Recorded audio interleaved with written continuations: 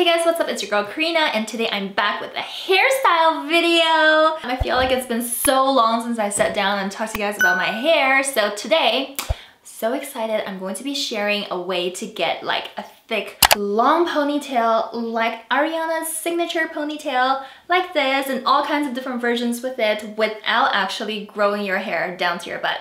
Let me know if you guys want to see more hairstyles related to using a long pony like this. I'm more than happy to make one for you guys.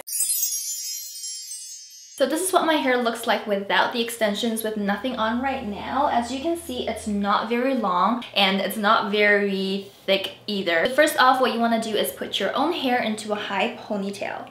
When I'm doing that, I like to first have like some hair in front of my face like this kind of like framing my face because I don't like it when my hair is like all the way slicked back. I don't know I just feel like it's more soft and romantic to have some kind of hair near the front of your face so I do that always just make sure you take a brush and brush all the stray hairs into a high ponytail Ponytail itself can be as high or as low as you want. Um, I typically like it high like this because it looks more glam, but you can have it either like this or even like at the nape of your neck if you want. I found a place. This is where I'm gonna tie it.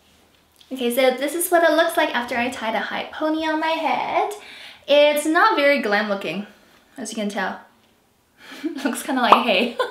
Here's the fun part. So this part is when you take your hair extension ponytail. Oh my god, I'm so excited to show you guys. So these type of hair extension ponies, you can find them everywhere. I believe you can find them on Amazon, you can find them on like a lot of different specialty stores and you can find them with both synthetic hair and also real hair. So this one I'm using right here is from Luxury for Princess. If you're not already familiar with them, they're a hair extension company based in Europe and I have used so many of their hair extensions in the past. I've tried a lot of different brands, but this one is the one that stuck with me the most because I find in terms of like hair quality. I have a whole video showing you guys how I put on their regular hair extensions, so check the link below if you're interested in that. This time I picked up their ponytail. These ones are made of real hair. This is the 26 inch 170 grams real hair pony extension so they look like this this is in the shade hazel blonde which matches my shade like perfectly. Like look at this. I would say this is more like a balayage shade consisting of like different shades of blonde as well as different shades of light brunette. So if your hair is highlighted like mine or if your hair is bleached in any way this would work out amazing for you. So each pony hair extension comes like this. Now you have this like your main hair part, which is this part, and it has this four clips right here. So this is where you would stick underneath your actual ponytail. It comes in a Velcro, and this is the part where you wrap around to like hide all the Velcro-ness. I'm gonna be putting it on now. So first what you wanna do is you wanna stick the four pins right underneath the elastic band of your own ponytail. And then once that's secure, you wanna make sure that it's really secure because this ponytail is heavy. So now that it's secure, there's a Velcro part with a tiny strand of hair. You just want to make sure that the Velcro is all the way enclosed around your ponytail and just make sure that your elastic is not showing through anything. After you've wrapped around the entire Velcro around your own ponytail, take this little piece of hair and wrap it all the way around the Velcro of the ponytail. This way you hide both the Velcro of the ponytail and also creates the illusion that you have your own hair wrapped around your ponytail. And then when you're done wrapping the strand around the base of your ponytail, what you want to do is take a bobby pin right here and just pin it into place. Now, you might need more than one or two bobby pins just to keep everything secure and not falling down because I find that in my case, my ponytail is so, so heavy because it's made of real hair and because it's so dense and thick that I ended up using around three to five bobby pins. Ta-da!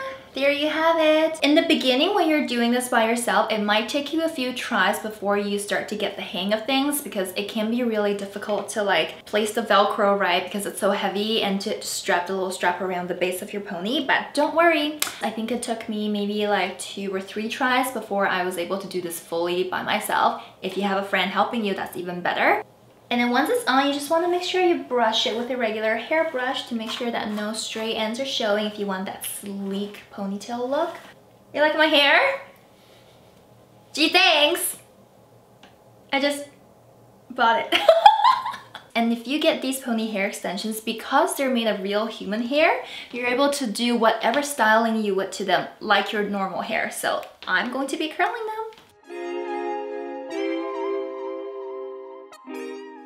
Okay, so I've just finished curling it and this is what they look like.